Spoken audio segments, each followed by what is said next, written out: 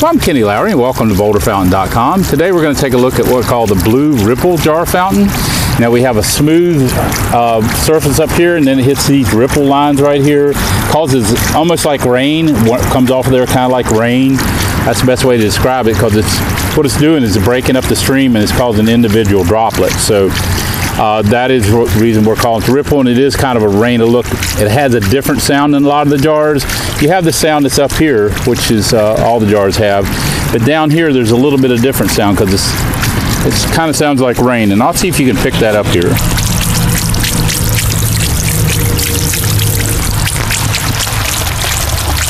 So there's two distinct sounds there. Uh, it's a beautiful jar. The colors on it are really beautiful. Uh, different in the way that the ripples come off of there. It is attractive all the way around. And I'll get with the camera and show you here close. Uh, you're definitely going to want to uplight this and the plume light. Um, you know the jars that, that are that are lit up there actually stand out a lot more during the day than they do at, at night. I know my my jar fountain I have at the front of my home.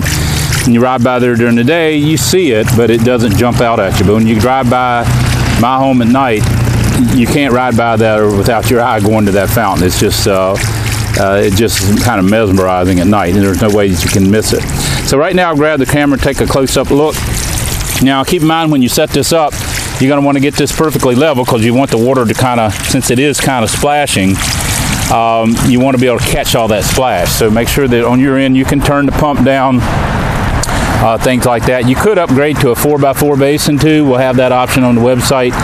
Uh, I know if I were probably put it in my house, I would. I don't want to cut the pump back, so I'm probably going to put it on a 4x4 basin. But if you're okay with turning the pump back, maybe the plume would be about half that size.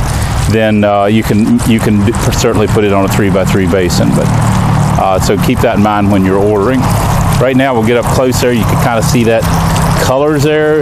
It's a really dark navy blue, and then it kind of goes a light. And we'll kind of go around here to the back as well.